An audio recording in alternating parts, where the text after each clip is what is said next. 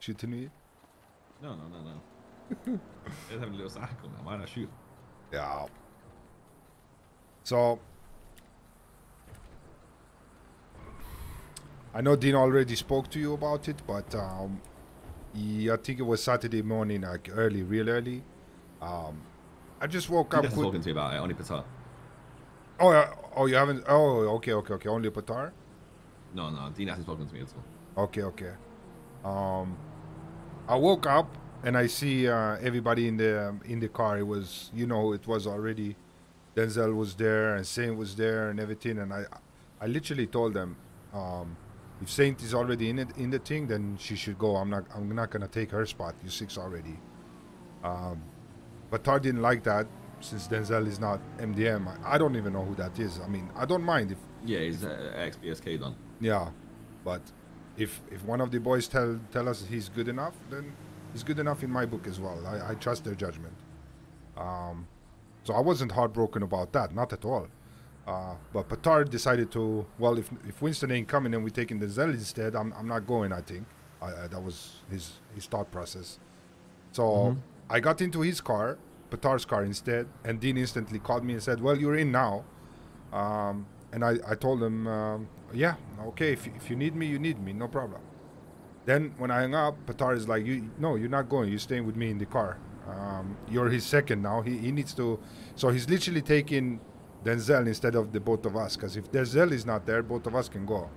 I said, yeah, yeah, you're right. Um, okay, so you want me in the car? And he said, yes. Then Dean calls me and asks me where I am because I didn't go.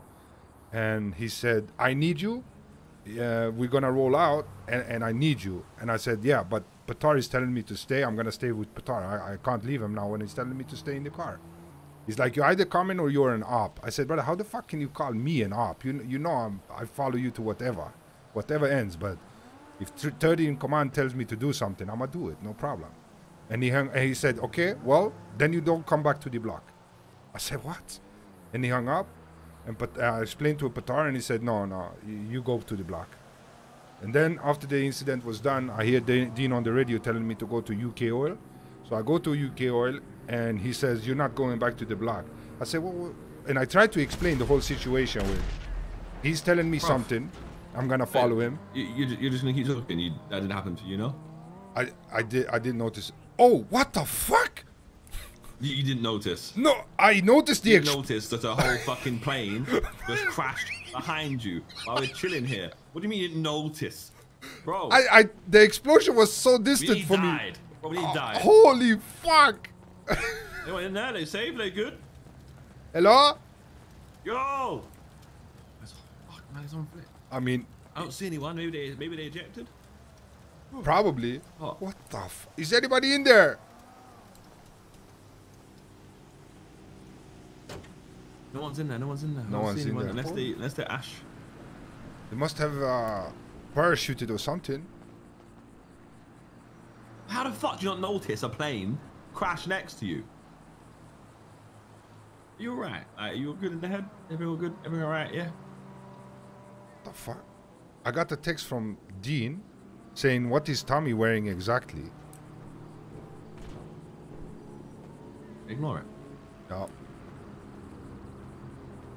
But you, you just you yeah everything everything's all good. You didn't like realize that. Uh, Brother, look, I'm looking this way, and to me, the explosion was so distant. And then I turned around, I was like, What the fuck? Yes, bro, do you not feel the heat? No, I didn't feel the heat. Heat singed on my beard hairs. Holy fuck, okay. I think I'm gonna stand on this hair on your head, man. Yeah. Fuck, I didn't notice.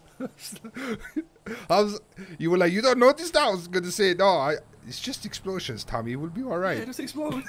Fine, it's- it's every day that happens that a plane crashes next to you. Holy fuck. Anyway, where was we?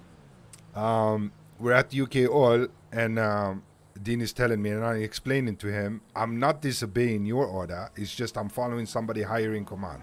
If- If you tell me to do something, and then Patar tells me to do something, I'm gonna do Yeah, wrong. you're, you're I doing the right thing. You follow command. That's Yes. how you're supposed to do it. I know, but I'm trying to explain to him that I'm not disobeying. I'm just doing what I'm supposed to. And he said, "You're not going back to the block." I said, "Well, fuck." And then Patar's telling me, "Get in the car, Winston. We're going to the block." So I wasn't even defying Dean in going to the block just to irrit- irritated him, I wouldn't even do that, you know. Um, we go into the car, we go to the block, and Dean shoots me. He's, he's like, Winston, are you are you not gonna get off the block? I said, no, brother. Patar tells me to be here. I'ma be here. What you and, and I see his gun. I know what he's gonna do. I can, if I want to shoot him, I can shoot him. But I'm I'm not never gonna shoot anybody of my own people, brother. Never. Okay.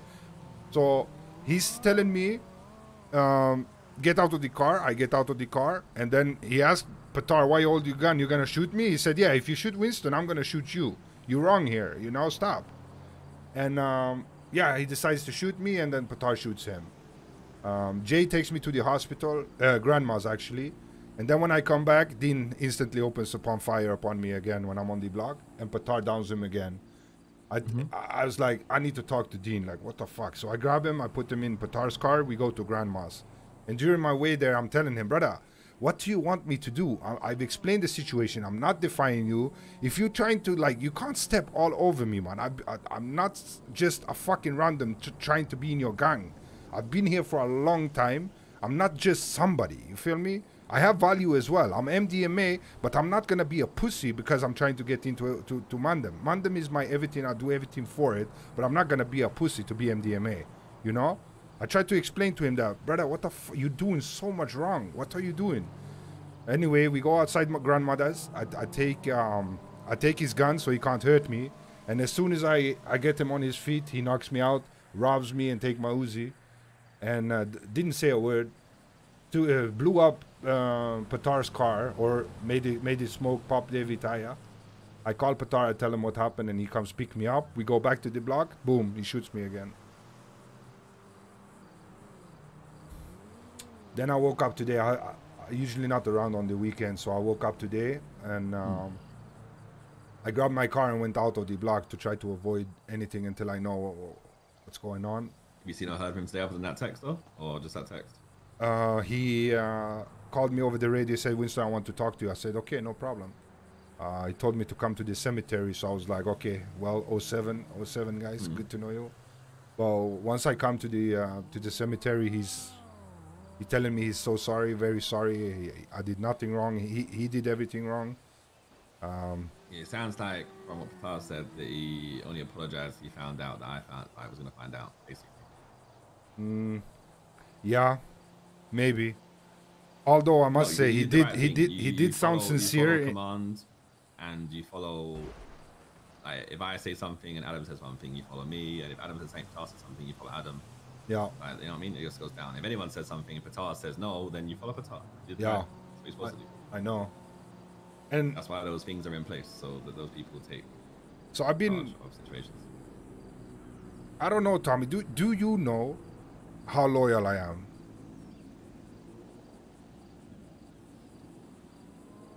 Um, I don't know. Like, do I know? It's a bit- of a loaded question because it depends how low you really are. You know. Yeah. I'll tell you how loyal I am, brother. And there's something that's been on my on my shoulders for the longest time now. It's nothing, and I hope you're gonna see it for what it is and not take it the wrong way. And this just I hope this shows how loyal I am. That it's been weighing me down. Even even though it meant nothing, it's still something I said. So you know this whole incident with Adam and you when you shot him and he was driving around not talking to anybody. Yeah. He did talk to me, and um, I didn't show everybody how heartbroken I was because I've been around for what six years, seven years. Never have I had anything even remotely close to what Mandem is. You know, you've built something mm-hmm. great here, Tommy, and the reason I wear the vest is because of you, and I know that. But dur- when you and Adam was having this kind of beef and nobody was talking with each other, I kind of felt like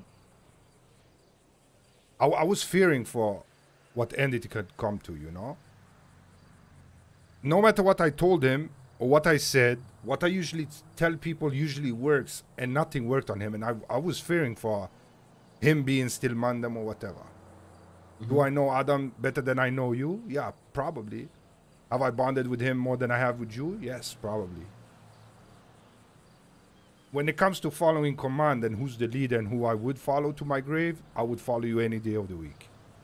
Why? Because what you have built and and who you are, brother. I don't I haven't seen like as everybody else, but I've seen enough, you know. It feels like I know you. And um while we was driving, no matter what I said, I told him, you need to speak to him. I said, I don't know. I don't know. I don't know what's going on. And I was honestly fearing for this to not be resolved. No matter what I said, no matter what I did, it didn't matter. So I told him, brother, no matter what you do, you need to talk to him. He said, no, I, I don't know. I don't know. I said, brother, either you fucking talk to him or we shoot him or we kill him or something like that. Because I wanted to test him to see how serious is this, you know? To see what kind of reaction. Did I mean that? No, never. Would I ever harm you even if you harmed me? No, ever. I would never do such a thing ever. And the reason I'm telling you this is to prove my fucking loyalty. Adam would never tell you this because the love he has for me and what it could lead to. And I know it, you might take it the wrong way, so I'm taking a huge risk, you know? I just want you to know how much I respect you and how much I follow you. But with what you just said, right? What if Adam backed what you said? No, because I explained to him while we were driving. I said, "You know that Tommy is the leader, though. Whatever he says goes. It doesn't matter what anybody else says. He's the leader. It's his thing. He's the number one. No matter what he say, we're always gonna follow him." I didn't mean what I said. He said, "I know." moment, like you, said, when you talk to him or, you, or we shoot him, what if he had said, "Yeah, we shoot him"? no, And let's say then he I- wasn't thinking straight. I would have told you. Because my re- my my reason I said that is I want to know if if that's where we're going. Is that what we're looking at? You know, and it wasn't, and that calmed me down. So you're doing it to gauge where his head was at. Yeah. But it's hard to explain to anybody that that's my what I mean. You know, because it's very easy to just say, "Oh, I didn't mean that," or "It just flew out of me." I have I'm very sneaky in my approach sometimes, but when it comes to demanding, brother, I want to be completely straight. I'm not acting to be something. I'm not trying to be something. I am myself, and that's why I love demanding because I can be myself and feel like I belong. That was Uh, what's the best way to put this? That was a very big dick thing to say. Because that really could have backfired, big man. I know. I hope that shows how much I respect you and how loyal I am. Because Tommy, if you were to shoot me right now, everybody knows I'm dead. So Why would I shoot you right now, though? Some people would take that the wrong way. No, I mean, it it seems strange to say. Yeah. When I sat there and deeped it, that does kind of make sense. You know, it, it but it all depends on me trusting what you're saying with what you would have done. Right? Yeah. And that's what it boils down to. I have to trust you on the first place to know that what you're saying there is Yeah. not a lie. Because you could say that and not mean it. You could say it in a in, in a sense of like, oh, I'm trying to like cover my arse here 'cause I said this. Yeah. And um, But no, I do trust you. So brother, if I can I, would never you. have told you this if if if I had any any if there was a in once in a trillion chance that I would ever harm you ever. If you told me to jump from a fucking cliff, I would do I that. told you this, man. Don't don't do these things. I don't want you to be a yes man. Like, it- I'm not though. if you're gonna be a full Mandem member one day, right? Don't be a yes man. Like, I can fuck up. You can go against me. I want you to follow my command, but you can still question my judgment. and I always will. But your so if command, I tell you jump yeah, off a cliff and it's very clearly like not a good idea to do, you can question that. I would question it, but I would still do it. It's it's just who I am, Yes, brother. yes. I've always been that way. Dean told me the other day to jump from the balcony. I did. Dean though. yeah, I know. There's also one thing. What if this happens again? Because if I'm gonna be honest with you, brother, I love Dean to death, but he's I I, I fear for him. I don't think he. Well, it seems like Dean Dean likes to push his luck, right? he has his moments where he's like he has two modes. He's in ride or die for the gang mode, or he's in how much shit can I cause Tommy mode. And many times he gets away with shit, and I think that's what I think he likes to push that and see what his boundaries are all the time, and he tries to extend them more and more. Yeah. Now, there's probably many ways of how that guy's brain's thinking right now. Maybe he's thinking like, oh, I, I'm, I'm hearing that he keeps using this whole MDMA thing against you guys. In a way of like, you're not full Mandem, so I don't like Yeah. to listen to you're And you want me to be honest, brother? But I then should knowing probably. him, knowing him, Yeah. that's to get to me, not to you. That's that's to, like he- that's him like send a message like you gotta make these boys MDMA, otherwise I'm gonna keep and I. Like, hope I hope that is the thing. And if it is, I think it's working because eh, eh, from the day I became MDMA, or even before I became MDMA, it, it's I don't want to change because of the status it gives or or for anything. I tru- truly, what would the change change for me? I'm already doing everything the mem- the members are doing. Uh, sometimes even more so. I get picked above the members. You know, I do get the respect, but after that incident, brother, that made me realize how much I need that chain because he wouldn't be able to do that.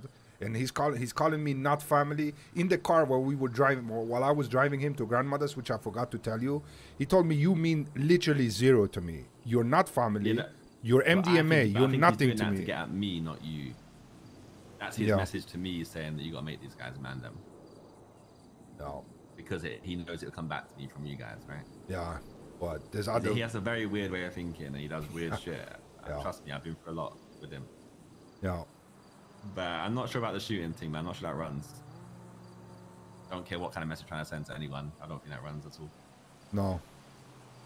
And he has no right to ban you from the block because that ain't his call. So if he says that again, uh, can anybody other than If Patar or Adam tells Yeah. you to, then yeah, of course. of course. If Okay. either of them says that you're fine to be on the block, then you're fine to be on the block. Yeah, and that's literally what happened. second and third. That's why it's there. Wow. I'm saying you did the right thing. If Dean says one thing, Patar says one thing, you follow Patar's orders, not Dean's orders. Yeah, exactly. I good we straightened that out and oof, I'm glad I told you know, the other thing the as way- well. That's the way you can run all the time. Yeah. As long as you run that way, then you'll always be fine in my books. Alright, I appreciate that. Alright, we heading back. Don't threaten to shoot me ever again. Uh, well, sorry? Don't threaten to treat me ever again. Never, never, Don't be, ever. giving, don't be giving no fucking. Dwayne is calling me. what should I tell Ignore Dwayne? that guy. No, ignore that guy. Yeah, guy. Don't be talking to that guy. either. no. I'm hearing some of you might have been chatting to him again. No, I don't like what he did at all. But sometimes he calls me and he's put himself in this position. So it kills me that he has, but it's still his decision to be here. You know where he is. What he did is, I think, I don't know, but I, in my book that we can't we come do back in our lives like nothing happened. I don't care. I don't want anyone to be friends with him. Yeah. He has, he has a lot of fucking making up to if he ever wants to get back into our lives. No, he's calling me to get ganja. I know that. He's been trying to get some weed.